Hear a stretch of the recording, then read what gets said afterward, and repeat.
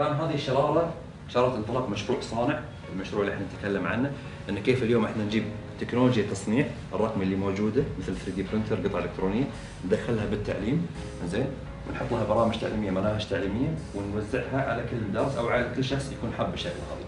فهذه تجربة شخص حاولنا نحطها في قالب تعليمي في business ونحاول ندزها في منظومة تعليمية.